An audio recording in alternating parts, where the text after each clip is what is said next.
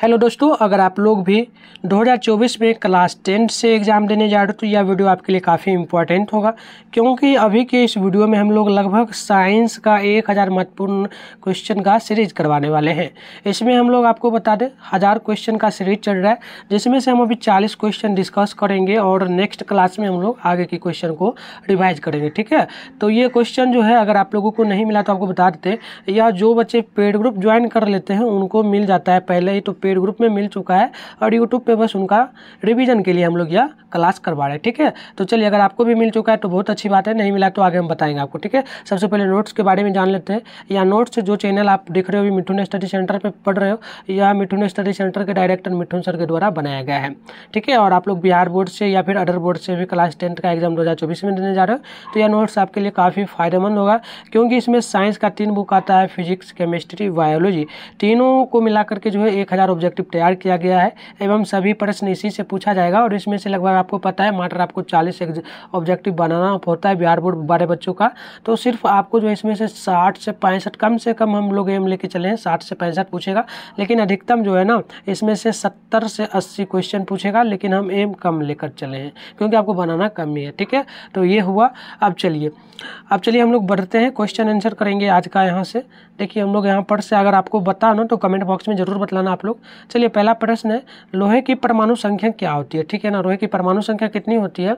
तो ये आपको याद रखना है हमेशा, ये आपका छब्बीस होता है, ठीक है? ऑप्शन नंबर बी बिल्कुल राइट होगा। नेक्स्ट क्वेश्चन देखिएगा, क्या पूछा गया?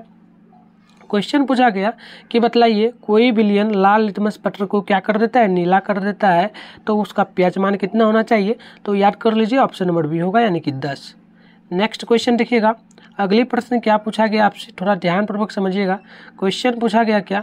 पूछा गया, आधुनिक आवर्त सारणी में वर्गों की संख्या कितनी होती है? तो वर्ग की संख्या कितनी होगी आवर्त सारणी में? तो आपको पता होना चाहिए, अठारह होती है। ऑप्शन नंबर बी बिल्कुल राइट होगा। उसी प्रकार से नेक्स्ट क्वेश्चन पूछा गया, चार नंबर कि single bond C H O अभिक्रिया मूलक को हम लोग क्या कर सकते हैं? तो इसका नाम क्या है? इसका नाम आपको बतलाना है। तो ऑप्शन नंबर बिल्कुल ए हो जाएगा एल डी हाइड ठीक है? नेक्स्ट क्वेश्चन देखिएगा। पाँच नंबर पूछा गया कि निम्नलिखित में से कौन सा पद विद्युत परिपथ में विद्युत शक्ति को निरूपित नहीं करता है? ठीक है ना? विद्युत परिपथ में जो है, विद्युत शक्ति को निरूपित नहीं करेगा। तो ये आपको पता होना चाहिए, ऑप्शन नंबर बी होगा आई, आर, स्क्वायर। ठीक है ना? तो ऑप्शन नंबर बी बिल्कुल राइट है, पाँच नंबर का। नेक्स्ट क्वेश्चन देखिएगा, क्या पूछा? छः नंबर पूछा, पायरुवेट के विखंडन से कार्बन डाइऑक्साइड जल तथा ऊर्जा देता है तो यह अभिक्रिया क्या है? तो आपको याद रखना है ऑप्शन नंबर बी होगा माइटोकॉन्ड्रिया में। नेक्स्ट क्वेश्चन देखिएगा, क्या पूछा गया सात नंबर? पूछा गया कि निम्न में से कौन सा पदार्थ लेंस बनाने के लिए प्रयुक्त नहीं किया जा सकता है, ठीक है ना? तो चलिए ऑप्शन हम लोग फटाक से देख लेते हैं। देख लीजिए ऑप्शन यहाँ से आपका शुरू हो गया, ठीक है? तो देखिए बताइए अगर आपको पता है तो ये आपका जो है ना लेंस बनाने के लिए लोग प्रयोग किसका नहीं करते हैं? तो हम लोग मिट्टी का उपयोग नहीं करेंगे ऑप्शन नंबर डी बिल्कुल राइट है। नेक्स्ट क्वेश्चन देखिएगा, क्या पूछा गया आप लोगों से? क्वेश्चन जो पूछा गया ना कि किसी बिंब का वास्तविक प्रतिबिंब समान आकार का प्राप्त करने, कोई वास्तविक प्रतिबिंब है, उसका प्रतिबिंब हम लोग क्या करेंगे? समान आकार का प्राप्त करने के लिए बिंब को जो है ना उत्तर लेंस के सामने कहाँ पर रखेंगे? तो ये आपको याद रखना है, इसे हम लोग रखेंगे वक्रता केंद्र पर।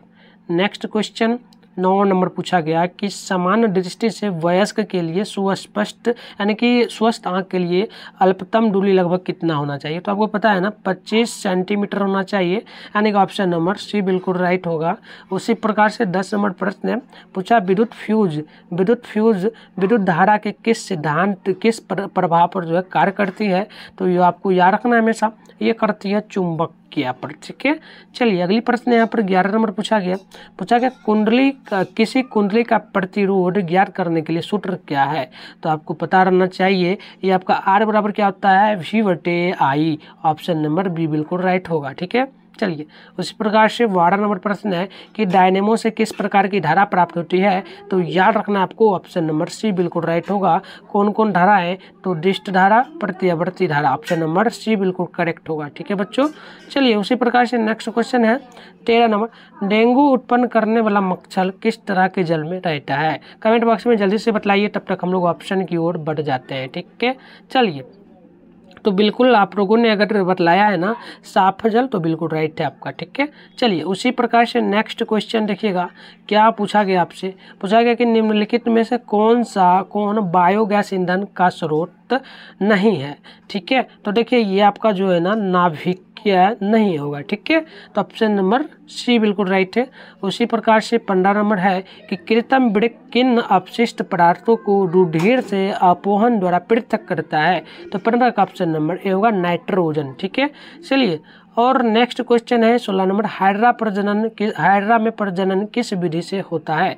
तो ये होता है ऑप्शन नंबर बी मुकुलन विधि से। उसी प्रकार से सत्रह नंबर क्वेश्चन है कि किसी माध्यम के अपवर्तनांक म्यू किसके बराबर होता है? अपवर्तनांक बराबर क्या फॉर्मूला होता है? तो म्यू बराबर आपका जो होता है ना साइन आई बटे साइन आर यानी कि ऑप्शन नंबर यहाँ पर बिल्कुल आपका क्या होगा? तो सी हो बी हो जाएगा साइन आई बटे साइन आर ठीक है? चलिए, उसी प्रकार से नेक्स्ट क्वेश्चन है।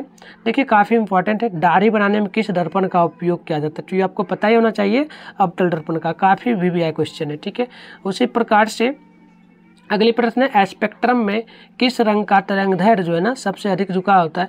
तो देखिए, सबसे पहले आप लोग अगर एक त्रिभुज बनाते हैं इस प्रकार से तो इसमें लगभग साठ रंग आती है। तो सबसे कम झुका जो होता है ना, सबसे ऊपर जो है और सबसे नीचे।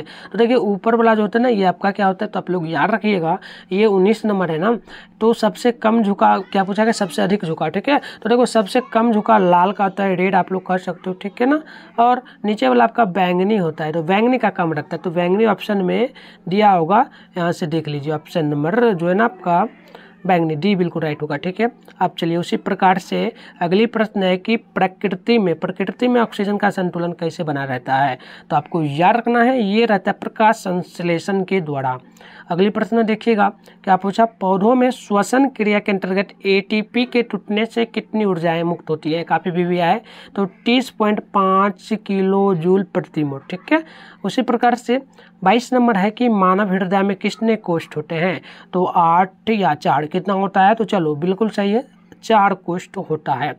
उसी प्रकार से तेईस नंबर है, मानव हृदय का औसत संकुचलन संकुचलन दाब लगभग कितना होता है? तो आपको याद रखना है, एक सौ बीस मेमी हाइपोग्राम, ठीक है ना?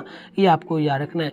उसी प्रकार से चौबीस नंबर है, पौधों में बाष्पोत्सर्जन किस भाग में होता है? तो याद रखिए, ये होता है फूट पत्ता में, ऑप्शन सी बिल्कुल राइट है। उसी प्रकार से पच्चीस नंबर है, हीलियम कैसा तत्व है, ठीक है ना? तो हीलियम आपका अक्रिय तत्व हो जाता है।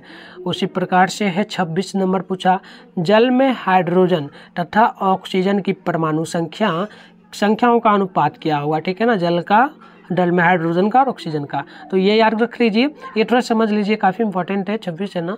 तो देखो, जल का परमाणु संख्या जो होता है ना, देखो, सबसे पहले तो जल का परमाणु संख्या टू, हाइड्रोजन का वन तो अनुपात इस प्रकार से कर दो, ऑप्शन नंबर ए बिल्कुल राइट हो जाएगा। उसी प्रकार से नेक्स्ट क्वेश्चन यहाँ से हम लोग देखेंगे। देखिए, सात नंबर क्वेश्चन होगा आपका। और ये पूछा सत्ताईस है, आवर्त सारणी में कितने आवर्त होते हैं? अभी शायद आपको आपको मैंने ये क्वेश्चन बताया ही था। कमेंट बॉक्स में बताइए, क्या होगा? तो सात आवर्त सारणी होते हैं, ठीक है? उसी प्रकार से नेक्स्ट क्वेश्चन देखिएगा। पूछा गया सिलिकॉन क्या है? सिलिकॉन क्या है? तो सिलिकॉन आपका, ये एक उपधातु होता है, ना ही धातु, ना ही और धातु, ठीक है? उसी प्रकार से देखिए, उनतीस नंबर है सिंगल बॉन्ड ओ एच क्रियाशील मूलक कौन सा है, इसका नाम क्या है, ये आपको बतला देना है। चलिए बतलाइए क्या होगा। जो बच्चों को पीडीएफ मिल चुका था पेड ग्रुप में, वो लोग जल्दी से कमेंट करें। जिनको भी पेड ग्रुप में मिल चुका था, कमेंट करिए। और जिनको नहीं मिला है, आगे बता देंगे आपको कैसे प्राप्त करना है, ठीक है। तो चलिए, बिल्कुल आपने क्या बतलाया? ऑप्शन नंबर सी तो बिल्कुल सही, एल्कोहल, ठीक है। नेक्स्ट क्वेश्चन है कि विद्युत धारा उत्पन्न करने की युक्ति को क्या कहेंगे? तो इसे हम लोग कहते हैं ना, जनित्र, ठीक है? चलिए, उसी प्रकार से अगली प्रश्न देखिएगा। ये क्या पूछा गया आपसे? इकतीस नंबर है। पूछा गया, लघु पठन के समय परिपथ में विद्युत धारा का मान हो जाता है। कितना हो जाता है? तो याद रखिए, ये लगभग जो है ना, बहुत अधिक बढ़ जाता है। उसी प्रकार से बत्तीस नंबर है। निम्नलिखित में से कौन सा जैव मात्रा ऊर्जा स्रोत का उदाहरण नहीं है? तो बत्तीस का ऑप्शन नंबर सी होगा नाभिक्य ऊर्जा। नेक्स्ट क्वेश्चन देखिए। तैतीस नंबर पूछा गया या कोई तत्व ऑक्सीजन के साथ अभिक्रिया कर, उच्च गणनांक वाला यौगिक निर्मित करती है। कोई भी तत्व है, वह क्या क्या यौगिक के साथ जो है, अभिक्रिया करके जो है उच्च गणनांक प्राप्त कर रहा है तो यह यौगिक जल के विलय में जल के विलय में है, या यौगिक जो है जल के साथ विलय कर रहा है तो यह तत्व कौन सा हो सकता है? तो जल के साथ जो विलय कर रहा है, वो कौन सा होगा? तो बिल्कुल सही है सी ए यानी कि कैल्शियम ही जो है जल के साथ घुल सकता है, क्योंकि लोहा नहीं घुल सकता है ऐसा भी नहीं घुल सकता है सी ए यानी कि कार्बन, ये सब नहीं घुल सकता है, ठीक है ना? चलिए, अब नेक्स्ट क्वेश्चन इधर से आपका होगा, और ये देखिए, ये आपका है क्या? तो चौंतीस नंबर पूछा क्या गया? एथेन का आणविक सूत्र जो होता है ना, ये आपको पता है ना सी टू एच सिक्स होता है। अब बतलाइए इसमें कितने सह संयोजक बंधक है? इस प्रकार से, इस प्रकार का जब भी क्वेश्चन आपसे पूछे ना तो एक ही चीज़ याद रखना आप लोग, ठीक है? चौंतीस नंबर है का। हाँ चौंतीस है। तो एक ही चीज़ याद रखना कि आ, सबसे पहले तो लास्ट वाला जो है ना सबसे पहले देखिए हाइड्रोजन हाइड्रोजन में कितना दिया है पावर तो सिक्स दिया है। अब हाइड्रोजन का परमाणु संख्या क्या होता है आपको पता है ना? एच का वन तो इसमें एक वन होता है तो एक वन जोड़ दीजिए तो सेवन इस प्रकार का जब भी क्वेश्चन दे तो आप इस प्रकार से बनाइए। लास्ट वाला को जोड़ दीजिए और साथ में जो ये दिया है अंक इसको क्या इसका क्या होता है? परमाणु संख्या वो याद करके आप जोड़ दीजिए। ठीक है? चलिए उसी प्रकार से पैंतीस नंबर है ओजोन के अणु में ऑक्सीजन की परमाणु संख्याएँ क्या होती है? ओजोन में, ठीक है? ओजोन का सूत्र आपको सबसे पहले तो याद ही होना चाहिए, ठीक है? याद है क्या?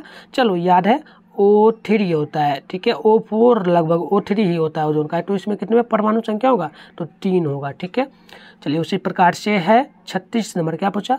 मनुष्य में वृक एक तंत्र का भाग है। मनुष्य का, मनुष्य में जो वृक है ना, वह एक तंत्र का भाग है जो संबंधित किससे होगा? तो मनुष्य से किससे संबंधित हो सकता है? तो देखो, चलो, क्या होगा? ये उत्सर्जन से संबंधित होगा।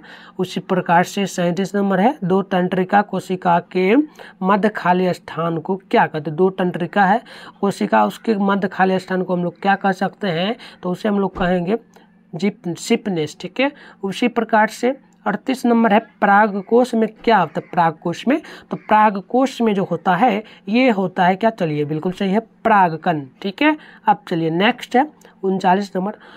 विकासीय दृष्टि से हमारी किससे सम किससे अधिक समानता है? तो देखिए, ये काफ़ी इंपॉर्टेंट है तो चिंपैंजी से आप लोग याद रखिए, ठीक है? ऑप्शन बी बिल्कुल राइट सॉरी, बी नहीं होगा। ये होगा चीन के विद्यार्थी से, चीन के विद्यार्थी से होगा। हाँ बिल्कुल ये सही है आपका, ठीक है?